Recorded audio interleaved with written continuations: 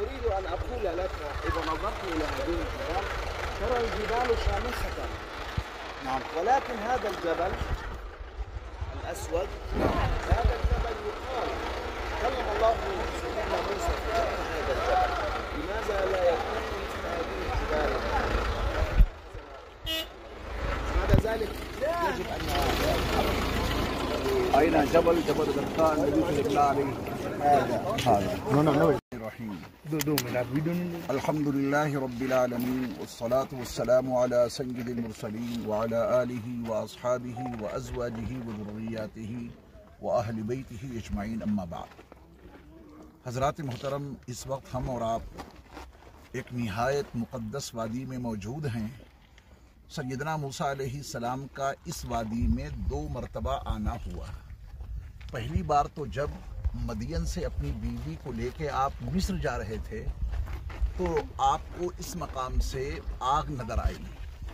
आगे थे आप। और जहाँ पे आपको आग नज़र आई, वहाँ पे वो दरख्त, उसका पूरा किस्सा आपने समझ लिया। ये आपकी पहली हाजिरी थी यहाँ। उसके बाद आप मिस्र चले जाते हैं और मिस्र पहुंचकर हज़रत मूसा सलाम फ़िरौन को दावत देते हैं। फिर एक तवील वाक़ पेश आता है हज़रत मूसा हुक्म इलाही से वाउहीना इला मूसा अन असरी हमने मूसा के पास वही भेजी कि आप मेरे बंदों को लेकर रातों रात निकल जाएँ। तो छः लाख इंसानों को लेकर हज़रत मूसा निकले हैं मिस्र से। और बहर कुलजुम को पार करते हुए आप इस वादी में पूरी कौम बनु इसराइल को ले आते हैं। सामने जो एक इलाका देखा आपने, जहाँ पे हज़रत हारून सलाम की कब्र आपने देखी, वहाँ पे सारे दाएँ बाएँ आगे पीछे बनु इसराइल ठहर गए। हज़रत मूसा सलाम ने उनसे कहा कि अल्लाह ने मुझे इस पहाड़ के ऊपर बुलाया है। तीस रातों का वादा किया है। बहुत तवज्जो से सुनिएगा, जब ये पहाड़ आपकी समझ में आएगा। तीस रातों का वादा है। तीस रातें गुजारने के लिए तन्हाई में अल्लाह ने मुझे यहाँ बुलाया है। और पूरी की पूरी कौम बनो इसराइल अपने बड़े भाई हज़रत हारून के हवाले कर दी। कि आप इनकी इसलाह करते रहें?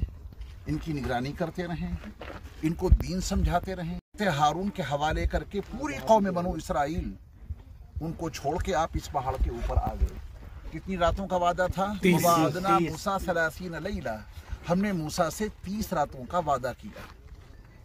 मूसा सलाम यहाँ जब तशरीफ़ लाए और तीस रातें पूरी होने वाली ही थी कि अल्लाह की तरफ़ से हुक्म ये आया कि ये मूसा, दस रातें तुम्हें और मज़ीद गुजारनी है। तीस रातों का वादा वहाँ से करके आए, यहाँ दस रातों का इजाफा अल्लाह ने और कर दिया। किसी शख्स को भी यहाँ आने की इजाज़त नहीं थी, तन्हाई मतलूब थी। तो कोई शख्स वहाँ से आकर हज़रत मूसा से पूछ भी नहीं सकता था, आप कहाँ हैं, किस हाल में हैं? दस रातों का इजाफा हुआ तो इकतीसवें दिन हज़रत मूसा की तलाश जारी हो गई बनो इसराइल ने। कहा कि वो कहाँ चले गए? कहा कि उनका रब उन्हें मिला नहीं। गायब हो गया उनका रब। क्या करना है? अल्लाह तो हज़रत मूसा अलैहिस्सलाम जब नहीं पहुँचे वक्त पर वहाँ तो बनो इसराइल तीन तबकों में तकसीम हो गए। ये है सुनने की बात। पूरे बनो इसराइल में तकसीम हो गए। एक तबका वो था जिसने ये कहा कि मूसा को उनका रब मिला नहीं मूसा गुमराह हो गए रास्ता भटक गए।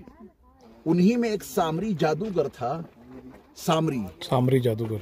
उसने तमाम बनो इसराइल से कहा कि तुम्हारे पास जितना सोना चांदी है सब लाओ।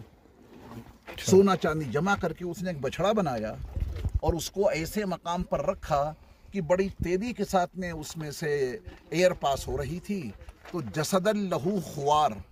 उसके अंदर से ऐसी आवाज़ आने लगी जैसे कि कोई बछड़ा बोल रहा हो। तो उस तबके ने कहा कि यही हमारा मबूद है। मूसा जिस मबूद की तलाश में गए हैं, वो तो उनको मिला नहीं। यही हमारा मबूद है और हम इसी की पूजा करनी शुरू कर देंगे। बनो इसराइल के तीन तबकों में से एक तबके ने उस बछड़े को अपना मबूद मानकर उसकी पूजा शुरू कर दी। ये काफिर हो गया तबका। दूसरा तबका वो था जिसने ये कहा कि नहीं, मूसा इस्लाम भटके नहीं हैं, अपने रब से मुलाकात के लिए गए हैं, वो ज़रूर हमारे पास वापस आएँगे और हिदायत लेके वापस आएँगे।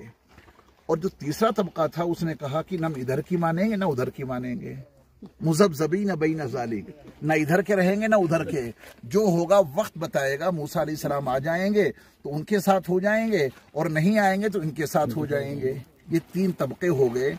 मूसा सलाम ने फिर जब चारी सरातें यहाँ मुकम्मल कर ली तो अल्लाह रब्बुल इज़्ज़त ने पत्थर की तख्तियों पर लिखी हुई तौरात उनको अता की।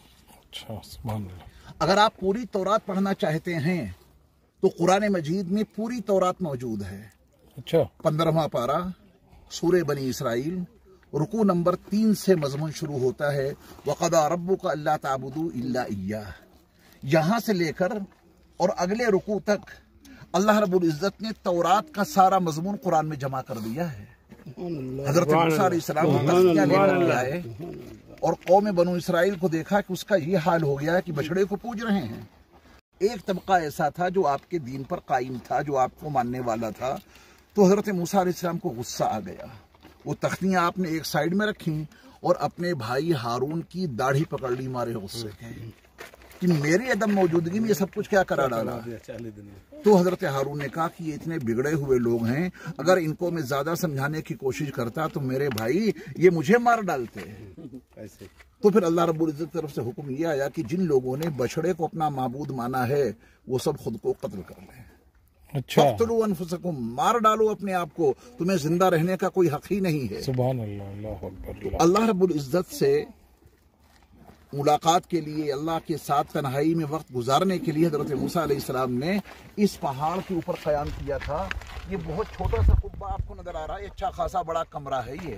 अच्छा। ये कमरा बाद में बना दिया यहूदियों ने हज़रत मूसा ने तो खुले आसमान के नीचे पहाड़ के ऊपर चालीस रातें गुजारी थी लेकिन आपकी याद में वहाँ एक कमरा बना दिया गया है। हज़रत मूसा ने यहाँ पर चालीस रातें गुजारी थी। आप जरा इस पहाड़ का रंग देखिए। ऊपर से कुछ जला हुआ नज़र आ रहा है ना, ये बड़ा ऊँचा पहाड़ था और यहीं पर अल्लाह रब्बुल इज़्ज़त से आपने दरख्वास्त की थी कि अल्लाह अपना दीदार तो करा दीजिए, अपनी जियारत तो करा दीजिए। अल्लाह ने फरमाया था कि लन तरानी, मूसा, तुम मुझे किसी हाल में नहीं देख सकते। अच्छा ऐसा है, इस पहाड़ के ऊपर नज़र जमाओ। अगर ये पहाड़, मैं इसके ऊपर अपनी तजल्ली करूँगा और जब मैं इसके ऊपर अपनी तज- तजल्ली ज़ाहिर करूँगा ये पहाड़ अगर अपनी जगह पर बाकी रह गया तो तुम मुझे देख सकते हो। और अगर ये पहाड़ मेरी तजल्ली को बर्दाश्त न कर सका तो ये आपकी आँखें कैसे बर्दाश्त कर सकती हैं? हज़रत मूसा ने इसके अपनी निगाहों को जमाया फलम तजल्ला जबल। अल्लाह रब्बुल इज़्ज़त ने जब अपनी तजल्ली इस पहाड़ के ऊपर ज़ाहिर की तो कुरान का बयान ये है कि जालहू दक्का व खर्रा मूसा सईका और मूसा भी बेहोश होके गिर पड़े। आप इस मुकदस वादी में आए हुए आपने देख लिया। सैंत कातरीन की अजमतों को आपने समझ लिया। और अल दीन जो बादशाह था फातमी बादशाह उसने जो मस्जिद बनाई वो भी आपने देख ली। और इसके ऊपर कोई मुसलमान कब्जा नहीं कर सकता है क्योंकि हमारे नबी अलैहिस्सलाम का खत यहाँ पर मौजूद है। वो कमरा बंद है वरना वो खत आपको दिखाया जाता। लेकिन शेख अहमद मुझे व्हाट्सअप पे जब भेजेंगे तो मैं खत आपको दिखाऊँगा और उसका पूरा तर्जमा करके आपको सुनाऊँगा। फिर साथ में आपने ये पहाड़ भी देख लिया। इसके ऊपर हज़रत मूसा सलाम ने चालीस रातें गुजारी थीं। अब हम चल रहे हैं वहाँ, जहाँ पर वो बछड़ा मौजूद था।